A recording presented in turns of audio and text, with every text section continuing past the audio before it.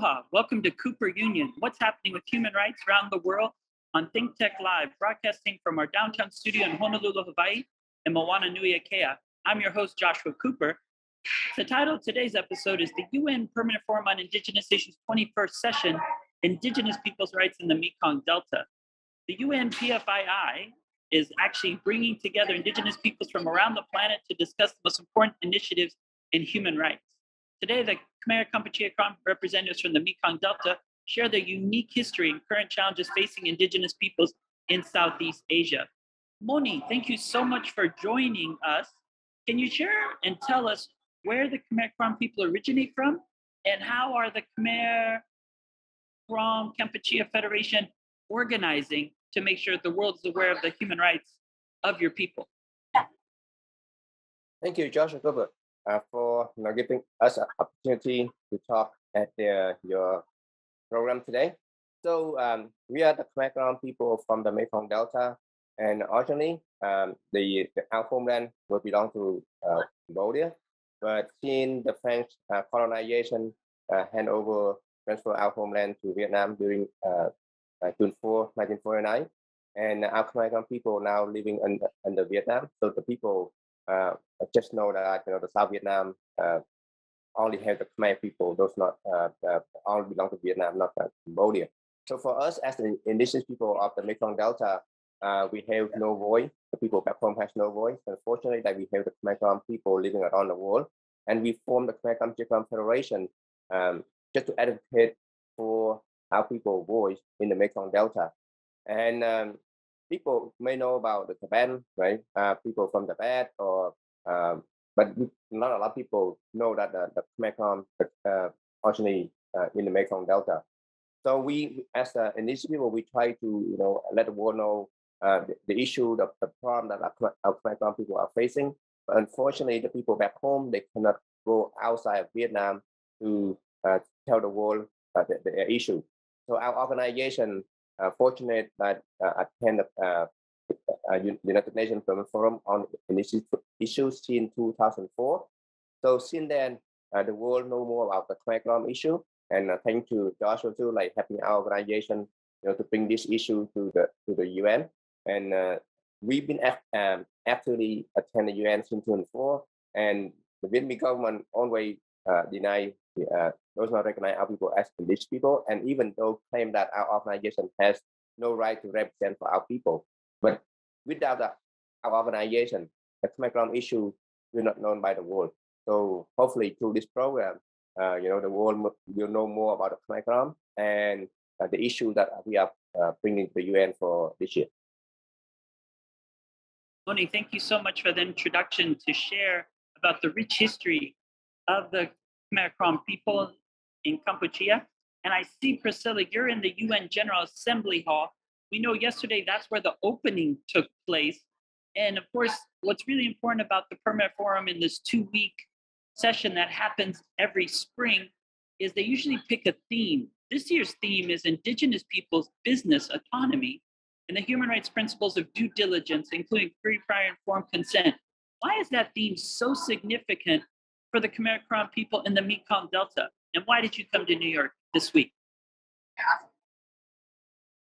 Thank you, Joshua. Yes, so this theme is very important to the Khmer Krom people of the Mekong Delta for many reasons, uh, because our Khmer Krom people lack the legal recognition as Indigenous peoples in Vietnam. And so this lack of awareness really creates systemic oppression and discrimination against our communities in order to improve their businesses and livelihoods of our people. So, because um, we are not recognized as Indigenous peoples, Vietnam also does not um, support the rights of Indigenous peoples that would um, also allow us to move forward in protecting us um, in terms of business and human rights and those guiding principles. And so, one of the biggest issues is how um, Vietnam is one of the biggest rice exporters in, in the world, yet our rice farmers continue to be left behind because uh, one, the government of Vietnam has discriminatory price controls on our rice exports, which really keeps our people in poverty.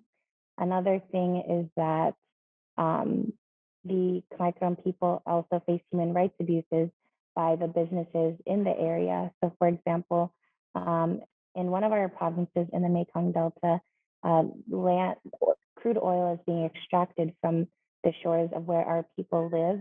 However, there's no free, prior, or informed consent with our people. So, unfortunately, you know, our people are not only having their land being taken from them and not having equal access in terms of fair market um, competition with their with their rice production, but they're also not getting any benefit or uh, dialogue with the businesses and state when it comes to extracting resources from their land. Thank you so much, Priscilla. Sothy, you know, you've also been here at the UN Permanent Forum often. Why is this theme so important? And what was it like to speak and address this annual assembly and being able to share the words of the people back home who aren't able to speak for themselves due to the political pressure? Yeah, so I think it's definitely an honor and a privilege to be a voice for our people because without the KKF here, our people wouldn't be able to engage in the mechanisms of the UN. And so I know that there is a big following on Facebook and they're just so proud and happy that that we're doing something for them. So I, it's definitely um, you know, it, I'm, I'm so honored to, to be a voice and we're excited to continue this mission um, to advocate for their rights.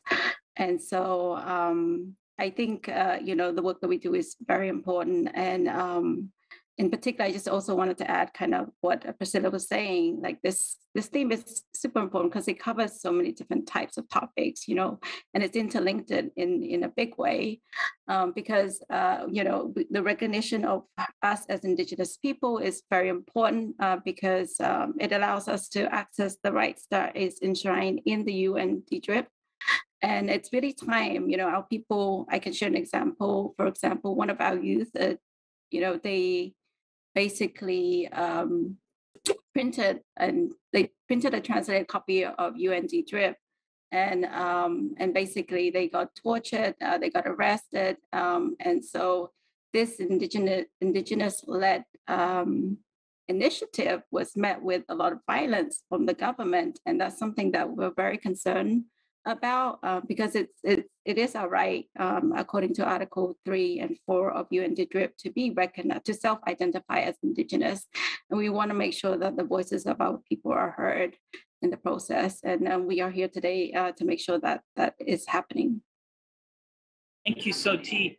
And it is exciting. We have Sokunthea with us who is a sophomore in high school and while most youth are doing model united nations. You're actually here to talk about this important issue of free, prior, and informed consent. What's it like to be at the UN, and what are some other points you think that the world should know about what's happening in the Mekong Delta? Uh, uh, thank you again, um, Uncle Josh, for allowing us to be on the show. This is such a great opportunity for us. Um, honestly, this has been such a phenomenal experience coming over here to New York and actually experiencing what firsthand what is going on in the United Nations. Um, yeah, the Mekong, uh, what our people have gone through in the Mekong Delta is um, really disheartening, and it's not really like exposed a lot.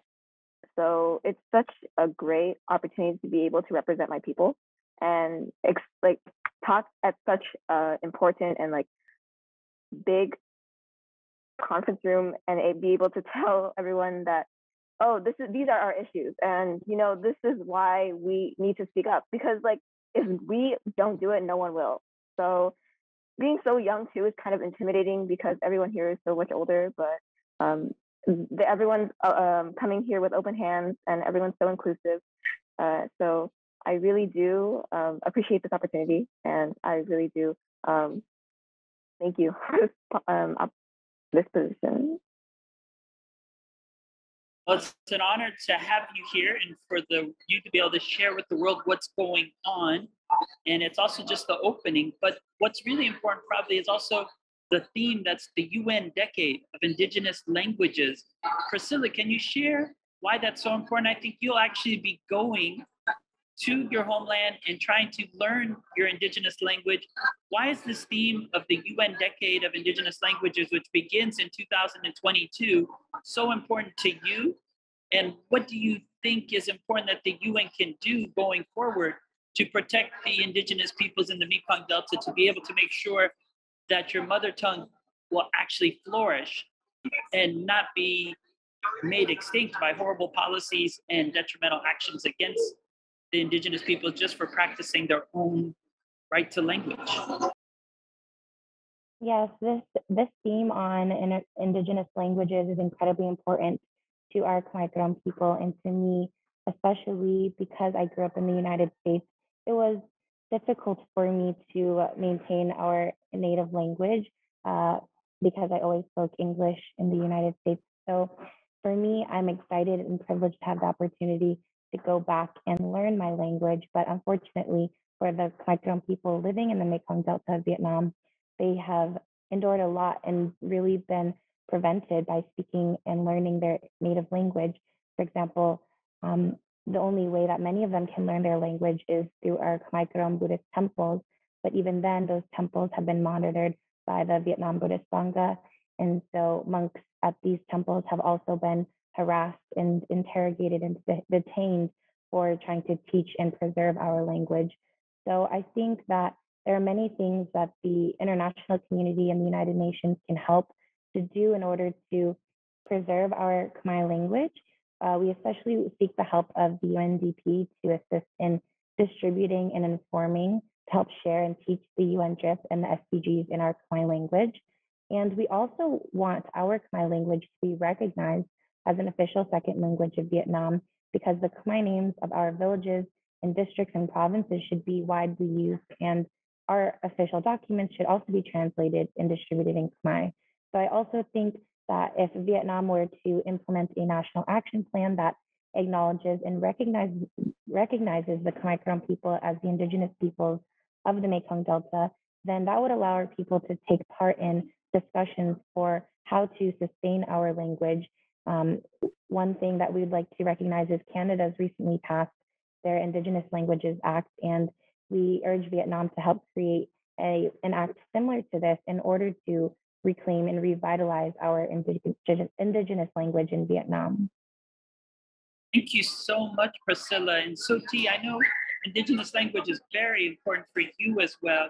And I know the UN UNESCO Specialized Agency Program is funded is also important. Could you maybe share why that might be helpful for assisting Krom people to maintain their language and make sure that it's alive and flourishing, not just like a jam on a jar or a jelly just staying there static?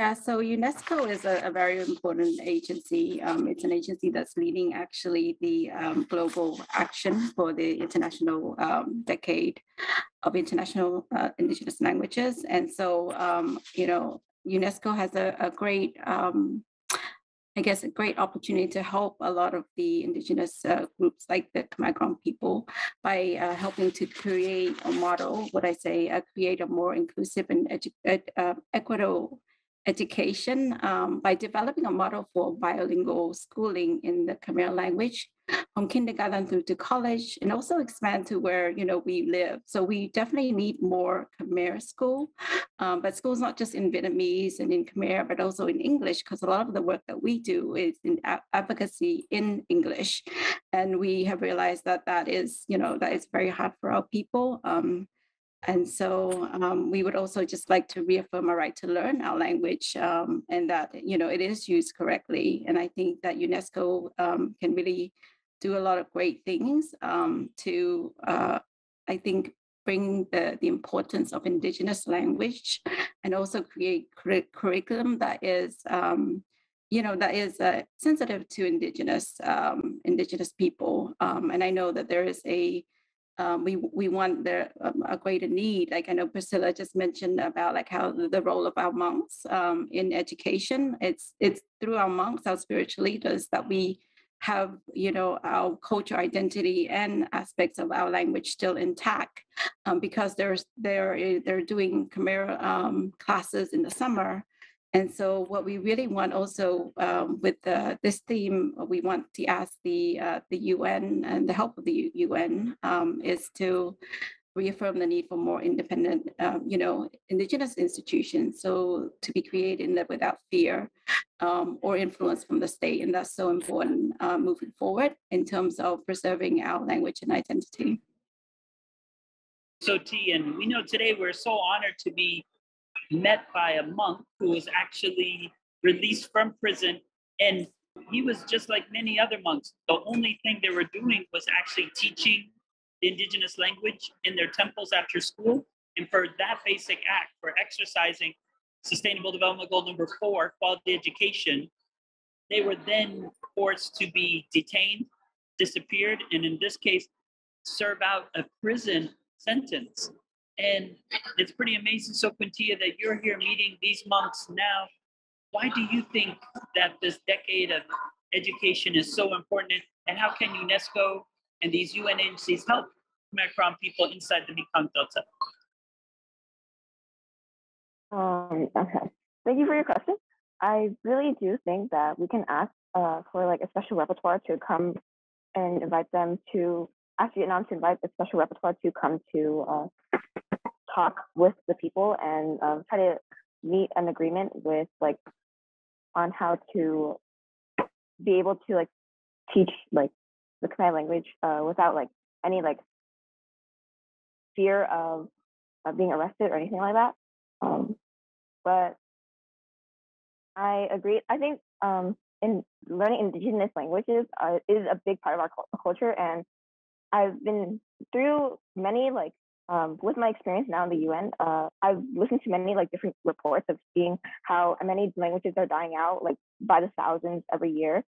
Hearing about like different stories about like different um, people like losing their culture, and it's really disheartening to see this. And we have the same issue. Um, the Khmer language is not like staying strong, but um, because of you know monks spreading like being our spiritual leaders and everything, I believe that we can still stay strong, but we also have the fear of you know being arrested by the Vietnamese police, and we need uh, we need to act now to prevent this from getting any worse. Honestly, it would be great to see like more people learning our language because it's such a beautiful language, um, and like the uh, the letters are so like decorative and really pretty, and um, I think that we should be able to spread a language. But currently, in the current situation, I remember reading that um, there was a school that only taught um, Khmer language for like one hour a week, and that's like when you learn a language, you need to learn how to practice it and have consistency because without having practice, you won't be able to actually fully understand the language. And one hour a week, taking from personal experience, growing up in um, when I was younger, my parents dragged me to Khmer school when I was like seven, and I learned the Gakos, which is like the alphabet, and it took me like three years to memorize all of it, which is really sad, but um, it's slow improvement. But um, I think that with better education, these kids can learn faster and like understand their elders too, because um, the big generation gap from elders to younger uh, generation is getting worse because of like this language barrier. And improving schooling right now can help, you know, um, bridge the gap and really allow us to talk more and have a better connection with each other.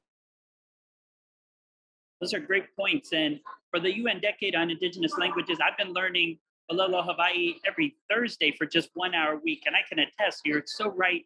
It takes longer than an hour. It takes many hours to build that foundation, and it's not possible. One of the other exciting aspects, though, of this two week UN Permanent Forum on Indigenous Issues is also the focus on the six mandated areas of the permanent forum. So one of the exciting areas that they look at is economic and social development, culture, environment, education, health, and human rights. Maybe you can share a little bit, Priscilla, about some of these six mandated areas and what are the main concerns related to the human rights and the situation for Khmer Krom people related to those six mandated areas these six mandated, mandated areas are all incredibly important to our Khmer people, especially in terms of economic and social development, as well as culture and education and human rights, as we've discussed. Um, one of them that we haven't been able to dig into as much as the human rights And so currently, as um, we speak, uh, there was a one of the farmers in um, the Mekong Delta was has been arrested um, last year for trying to defend his land um, for farmers um, because the the Vietnamese government took confiscated this land, and so this is only one instance. Um, there have been many other Khmer activists that have tried to defend their land, but they've been interrogated and harassed and even tortured. And so this is probably one of the most crucial areas that um, our Khmer people need justice for. Um, and in addition, we talked about the cultural aspects of our indigenous language and how we can improve that education by implementing it into primary schools through college. However, um, one aspect that isn't discussed enough regarding the economic and social development is their inequality in terms of the workers' rights, in terms of how our Khmer people are able to compete on an international level in terms of exporting their produce, their rice especially, um, because they are forced to sell at lower prices for the other industries and the government to profit. So I think there's so much more for our people to for us to go in order for us to advocate for them in order to get justice for these human rights abuses in order to improve the social and economic conditions of our people in the Mekong Delta, and then as well as uh, environmental uh, sustainability. Thank you so much. And Sothy, how about you? What do you think some of the priorities are around education, health, human rights, culture, as well as economic, social, and development? Yeah, so I think uh, definitely with the COVID pandemic, um, we are very behind in terms of our development in those areas. Um, I think it there was a lot of things that were happening that were put on hold. So, for example, education, a lot of our kids were unable to go to school and they didn't have access to the internet.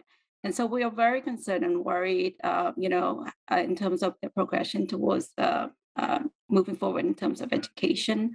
Um, and then there was also a lot of uh, health related uh, limited access to health uh, during this time, and so it's um, it's it's it's it's really really there's there's so much that needs to be done and addressed, and so um, having the opportunity to, to be here to kind of uh, provide recommendations to all the different agencies that can help us create projects. Um, it's it's vital to um, I guess to to us moving forward um, and being engaged um, and being able to to benefit right from um, from the work of the UN and making sure our people are represented. So yeah.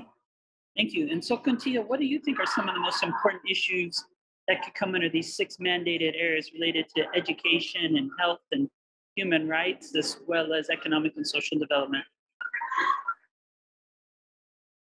I think um, so I think human rights and having the ability to like, I okay, I learned this from my history teacher, which is a bit out of topic, but um, my teacher taught me that oh, um, I think that human rights is the best, uh, the most important right, having the feeling of safety, because while survival, you have to find food, water, and stuff like that, and schooling, but if you're being murdered or like there's like constantly like um enforcement trying to like um be on your back you can't find like the basic necessities before you keep yourself alive.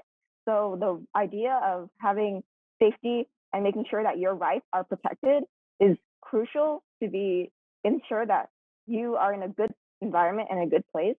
Um, and I think that's one of the most important mandates out of this mandate. That's wonderful. And it's great to be with all four of you here at the permanent forum. And so, team, it reminds me as we're closing, I remember you coming from Australia for the first time and speaking on the floor of the permit forum, and you got a thunderous applause when you really spoke truth to power about what was going on in the Mekong Delta.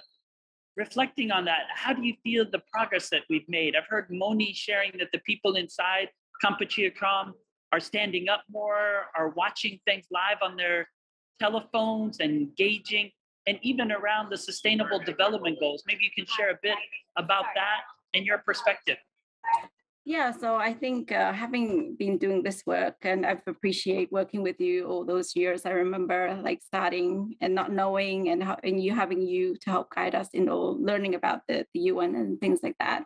So um, I think there we have come so much. I mean, we started off not knowing anything, and now like the world knows uh, everything knows a lot more about Khmer Krom. So if you did a Google search of Khmer Krom, there's like pages and pages and pages um, about it, and then it just shows the the work that we do is is is is working right. And so.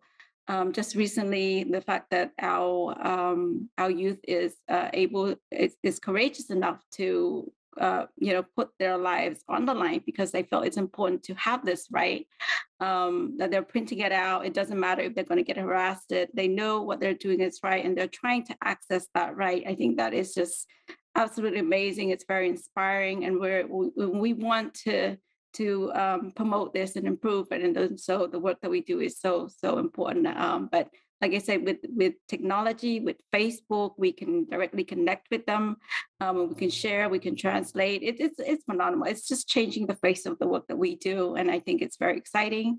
Um, it's very important, and uh, we definitely. I think the only other thing that I would add is that just the amount of women that is come through since uh, since you know um, I think uh, KKF is amazing in the sense that we are able to bring a lot of different people in. We have the older, we have the youth, but we also have the women. So, you know, you can see here there's Priscilla and then there's Sokunthea and so much youth that have come through. And that's something I'm really proud of to be part of this organization is the diversity uh, of people that we've able to bring to be engaged on board, not just inside uh, of Kampuchea Krom, which is most important, but also um, the work we do outside, where we're bringing communities together, learning about our rights together.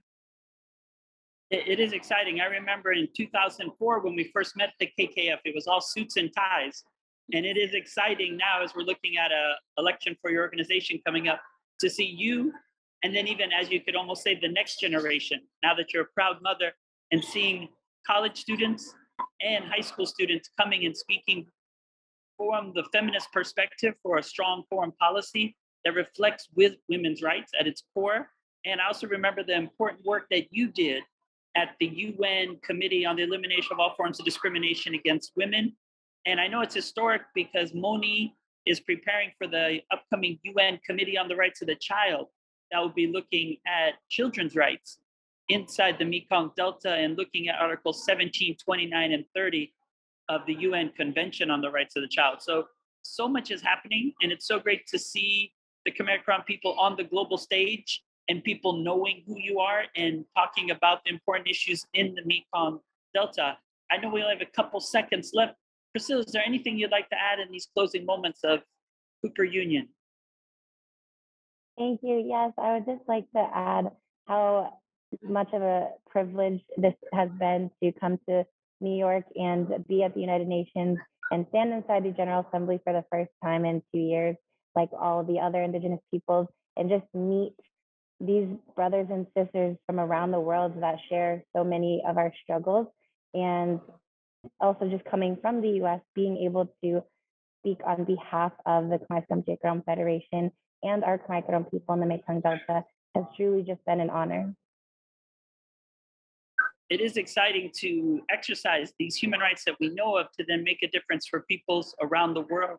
And we'd like to thank you all for participating and sharing about the 21st session of the UN Permanent Forum on Indigenous Issues with the World. Aloha.